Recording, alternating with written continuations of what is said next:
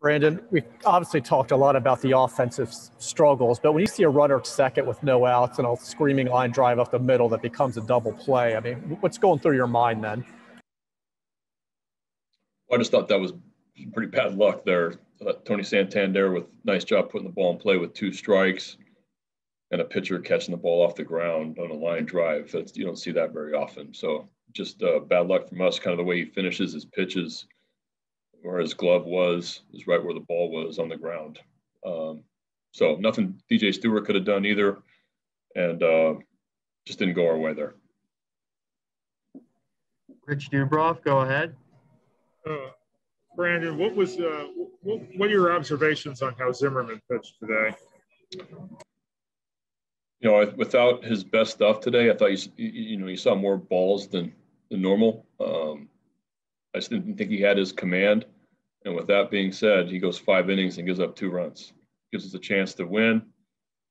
Uh, shows what kind of pitcher he is and what p- kind of pitcher he's going to be with going out there without his best stuff and only giving up uh, you know a handful of hits and and two runs. Uh, I just thought it an it's outstanding the way he's the way he's pitching, the way he's keeping us in games. I love his pitch mix. I didn't I just didn't think he was as sharp today as he had been the last couple starts. But with that being said, two runs given up. You got to you're going to win more games than not um, when that happens. Nathan Ruiz, go ahead. Brandon Dunn was a guy who issued a lot of walks in his first start, and, and you guys weren't really able to make that happen today. Was he doing something differently, or is that on your your hitters? No, I thought we were too aggressive on him. Um, he's got really good stuff. He's got a fastball. He did get ahead with his fastball a lot early, but we made a lot of early outs on him. Um, he's got a really good slider as well.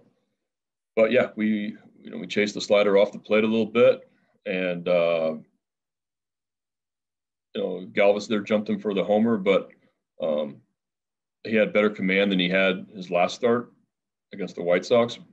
But um, you know, it'd be nice to grind out the at bats a little longer, and and uh, especially in a doubleheader day when you know bullpen guys have already pitched. You want to try to get in the bullpen as much as you can, and and uh, I just thought we were a little aggressive early in the count on them. Joe Trezza, go ahead. Brandon, that being said, when you look at the offense, do you see any signs of, of guys who, who might be uh, about to turn things around?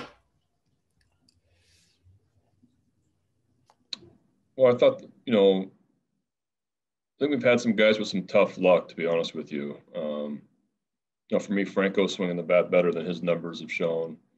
Uh, it was good, nice to see Trey swing the bat like he did in that first that in that first game.